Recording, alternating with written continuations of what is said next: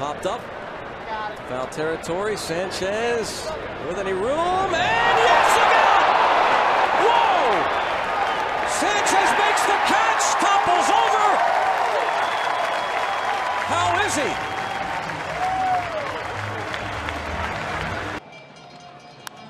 Granite, little pop up. Chapman hustling over, and Chapman makes the running catch. wow.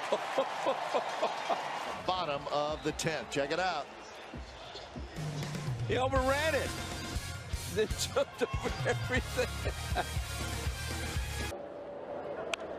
Popped up, foul ground. Sandoval on the run by the Astros dugout. And the Panda makes the catch and goes over the railing. Sandoval making the grab.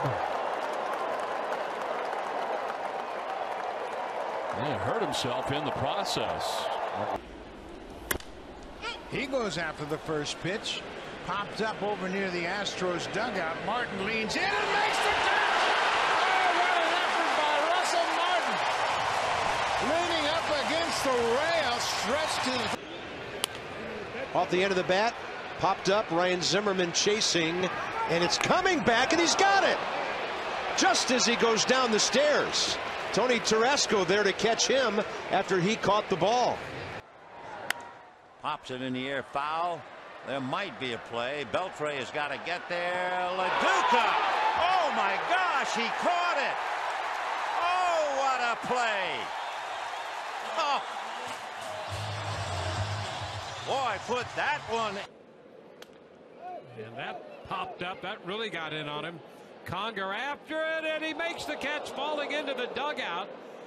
Number one, let's see if he's okay. And number two, he held on. Will Little up with the right arm.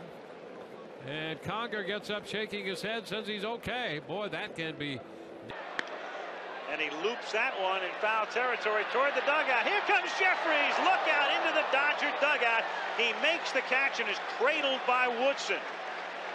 And the last time we saw that, George Brett was sliding into the dugout in St. Louis in the 1985 World Series, and he's fine.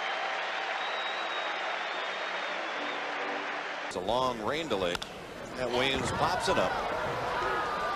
Daulton over by the Phillies dugout. He makes the catch and then he crawls in. Nice play. Not only by Daulton, but by Daulton's teammates for helping him.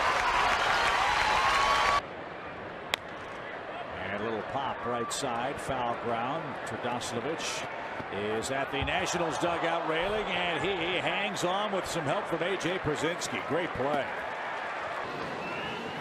popped up. Parmelee. With the catch, and he falls through the gate.